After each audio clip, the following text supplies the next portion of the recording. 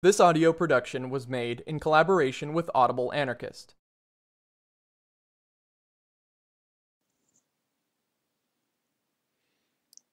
EZLN closes Caracoles due to coronavirus and calls on people not to abandon current struggles. By Indigenous Revolutionary Clandestine Committee, General Command of the Zapatista Army for National Liberation. To the people of Mexico, to the peoples of the world, to the National Indigenous Congress, Indigenous Governing Council, to the Sixth in Mexico and abroad, to the networks of resistance and rebellion.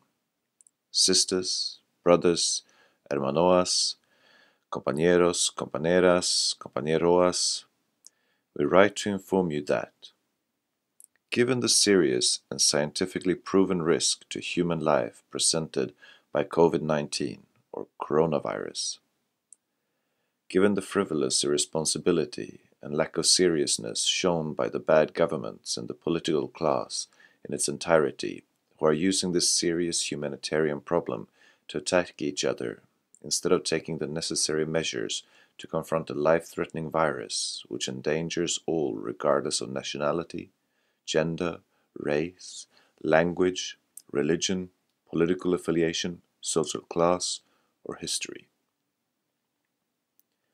Given the lack of accurate and timely information about the spread and severity of the virus and the lack of a coherent plan to confront it, and given that our commitment as Zapatistas is to struggle for life, we have decided the following.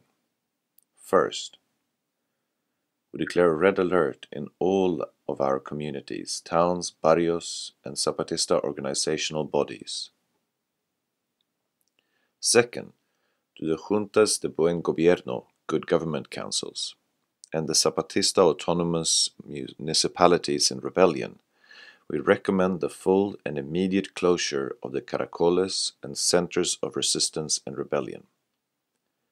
Third, to the basis of support and the entire Zapatista organizational structure, we recommend adherence to the series of recommendations and special hygiene measures which will be distributed in all Zapatista communities, towns, and barrios.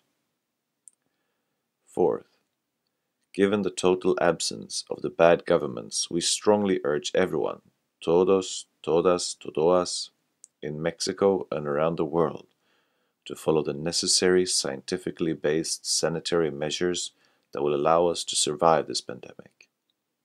Fifth, we call on you to sustain the struggle against femicides and violence against women, to continue the struggle in defense of territory and Mother Earth, to maintain the struggle for the disappeared, murdered, and imprisoned, and to hold high the flag of the struggle for humanity.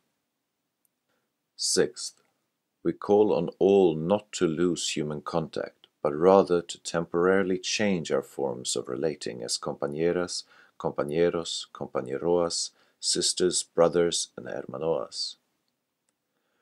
The word, the listening ear, and the heart have many ways, paths, calendars, and geographies, in and on which to meet. This struggle for life can be one of them. That's all from the mountains of southeastern Mexico for the Indigenous Revolutionary Clandestine Committee, General Command of the Zapatista Army for National Liberation, Subcomandante Insurgente Moises, Mexico, March of 2020.